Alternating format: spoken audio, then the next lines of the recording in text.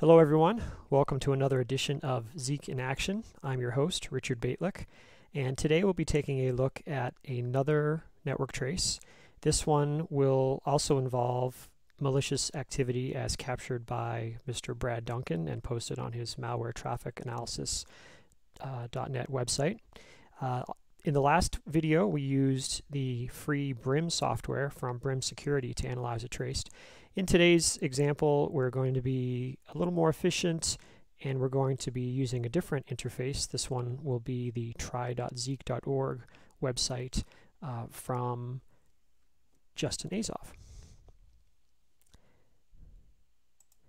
Today's trace will be the one that uh, is listed as CATBOMBER. Uh, it's associated with the date 2020 05 28 and there are some questions to be answered, uh, which we'll probably take a shot at answering. We were already told that this uh, apparently is a TrickBot infection, but we're going to just be sort of looking at the trace in a more uh, holistic manner to see what we have to work with. The website or the resource we'll be using to analyze this trace is called try.zeek.org. And this is a, an interface that Justin Azoff coded in order to let people process uh, PCAPs using Zeek. And one of the reasons I really like it is it allows you to process traces using different versions of Zeek. So I'm going to upload a trace that I've already downloaded from uh, malwaretrafficanalysis.net and we'll see what we can do with it.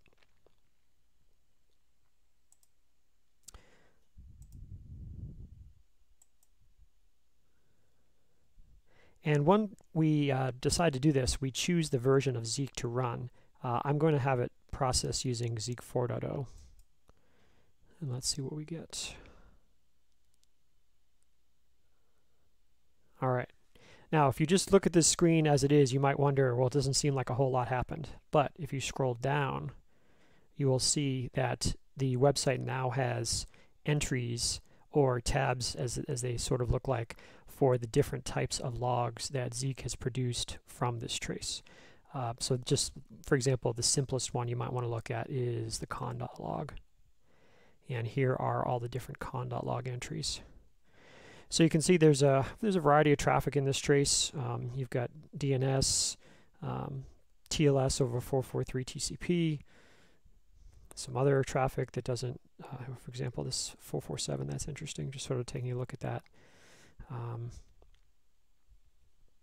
now, there were some questions associated with this activity. Let's see if we might be able to take a quick look and see if we could answer any of these quickly. Um, based on the TrickBot infections HTTP post traffic. So HTTP post traffic, let's see if we could find that. Now uh, HTTP post, that would manifest in the http.log. So let's see what we have there to look at. So if I click on the HTTP tab, we'll see that we have various post entries here. And clicking on one, it looks like we have, this is probably in the format of a user name and then the PC name. So Yaz33 and CatBomb W7PC. There's also a different one we see down here of Jim734 catbomber-dc. So this might be the, uh, the domain controller. Now one of the reasons why I chose to use try.zeek.org is that when I was doing some preparation work for this trace, I realized that the uh, other versions of Zeek that were available didn't recognize all of the HTTP traffic that was in this trace. So for example, you'll notice that the post traffic for these entries uses port 80. However, this entry here and this one uses port 8082. Now, these appear in the, the Zeek HTTP.log, which means that Zeek 4.0 um, was able to process them and identify them as HTTP. But let me just change this uh, Zeek version from 4.0 to 3.2 and try running the trace and let's see what we get. Okay, so we come back down here, go to HTTP, and suddenly you'll notice that we don't have any entries that are using uh, Desport 8082 TCP. Instead, we just have uh, the entries using port 80.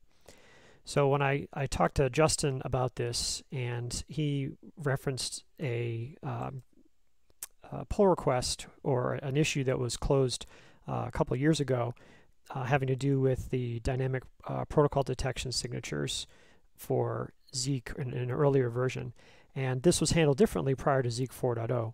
So that's why when you take a look at uh, Zeek using uh, the latest version of 4.0, you do get the activity for, let me just switch that, you do get the activity for port 8082, uh, but you don't get it on the latest ones. Uh, that just sort of is a reminder why I tend to prefer open source tools when possible when doing this sort of uh, network forensics analysis. Um, years ago, when I was considering doing expert witness testimony, and uh, my friend Keith Jones had done quite a bit of this work, uh, he impressed upon me that uh, he liked to use open source tools for doing uh, network friend or uh, just any type of forensics and then testifying about it because he if at the end of the day he got really uh, pressed as to how a tool was operating, he could always look at the source code. And that's not something you can necessarily do with all software. So um, this sort of a an inbuilt, uh, built-in advantage to using open source tools when you're doing uh, any type of forensic work that might get challenged. Uh, let's see what else we might be able to learn about this trace. Um, now, what is the other user account name and other Windows client? Yeah, so we found that using the post traffic. Um, questions here about what is the infected user's email password. These sorts of detail-oriented questions are probably not going to be things that we can answer with uh, the Zeek logs. Um, the reason is they tend to come about because of the transfer of information between the client uh, or, or, the victim in this case, the targeted compromised computer, and the uh, the intruder's computer. So to answer questions like that, we might be able to pivot off of some of this activity, but then look into the uh, the PCAP itself. So for example, if I were to do that,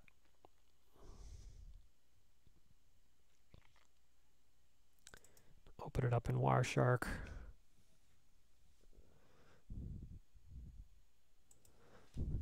We'll apply a HTTP filter here. And uh,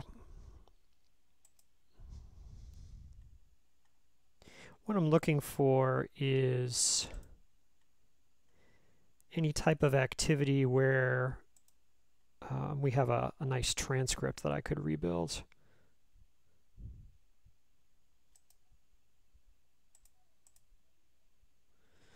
So here's an example.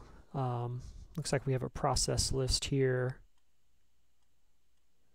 Th this looks like it's all coming from the uh, one of the victim computers. In fact, this looks like it's coming from the, the victim domain controller. Here you see its IP address, the username logged in.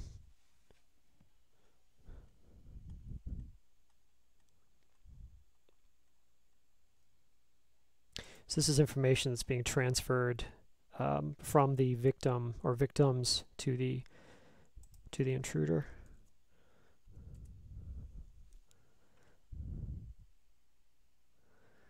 Uh, let's try looking at one of the clients. So 28.8 is the domain controller, 28.29.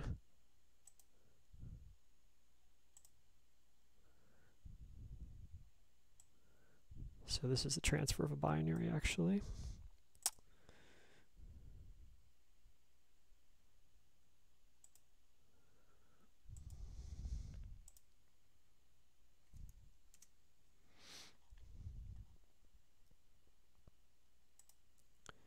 Let's try this one.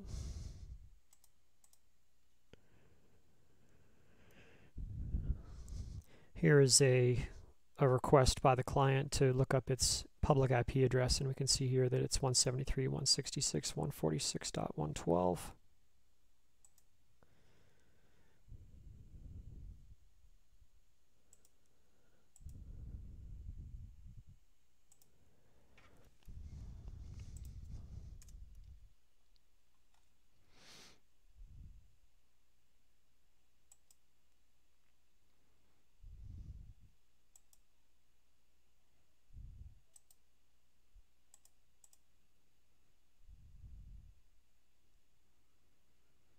Okay, so here's the answer to uh, one of the questions that we found.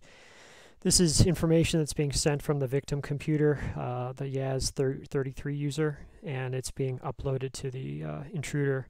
Here you can see their POP3 account, so this is a, a mail account um, for philip.gent, and this looks like their password for that account. So this is reported as being an Outlook password. So this just gives you an idea of, of some of the data that you can't answer uh, strictly using the Zeek logs because you're looking at data that was transferred in a, a command channel between the, the victim and the intruder.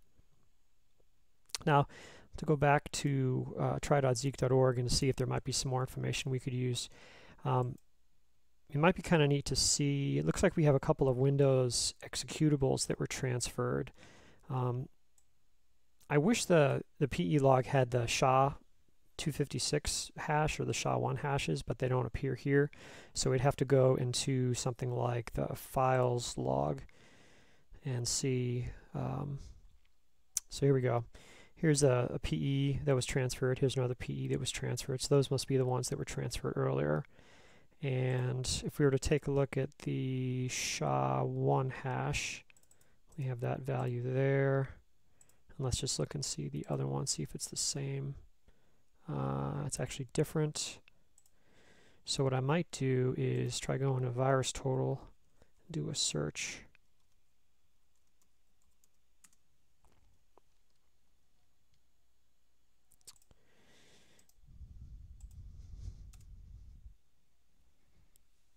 So here's the results of a VirusTotal search on the uh, SHA hash for one of the PE files that Zeek detected being transferred.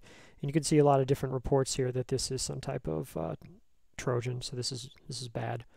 Um, and again, these came from the PE, what what uh, Zeek identified as Windows PEs, so portable executable formats. Might just take a quick tour of some of what else we see here. So all of this activity that's listed under SMB files and SMB mapping, uh, generally actually any of the uh, SMB type stuff, Kerberos, whatever, this is the type of thing that I like to use uh, something like uh, BZAR, the scripts that uh, um, deal with that specifically. So if I were to go to, for example, the Zeek docs, I'll give an example of what I'm talking about. Um, when we rewrote all of the Zeek uh, log formats, um, I spent a lot of time on SMB, and I showed how you can use the uh, um, what's called BZAR or the Brozeek attack-based analytics and reporting that Mark Fernandez and his colleagues at MITRE developed.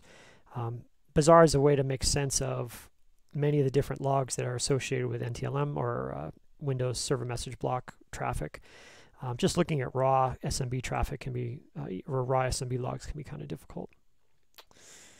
Um, take a quick look and see if there's any interesting notices. Invalid SSL cert. This probably has something to do with the uh, SSL server that's serving up all this uh, malicious content. Intruders don't care if their cert is invalidated. Um, take a look at the DNS requests.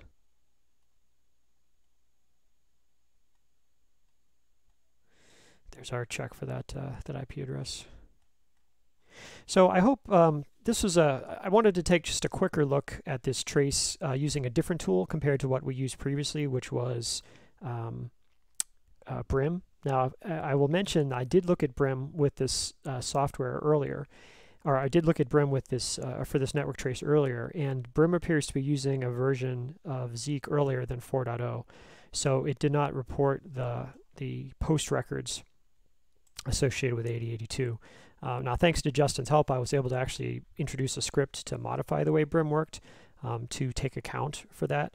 But that's a little bit beyond what my purpose for uh, this briefing was, so I did not include it.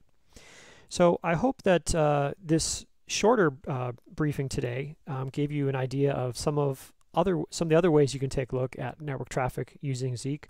Uh, also, some of the um, strengths and and uh, limitations that you might encounter. Some ways to uh, get around those whether it's by making sure you're aware of what version of Zeek you're using, or by encountering a different way to interact with the data, such as by using uh, Wireshark. You'll notice in this example we didn't use any uh, Suricata logs. That's also something that you could use, and in fact, um, Suricata has a lot to say about this this activity as well, but uh, decided we would save that for another time. So I hope uh, you enjoyed this edition of Zeek in Action, and I hope you uh, will join me for the next edition. If you are interested in doing a Zeek in Action video yourself, we are very interested in having um, other people show how they use Zeek, whether it's it's taking a look at the data, or whether it's showing how they get data into Zeek, or how they get data out of Zeek.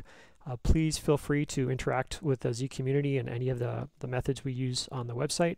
Um, the easiest way probably is just to join the Zeek uh, Slack and talk with us there. Thank you. Bye.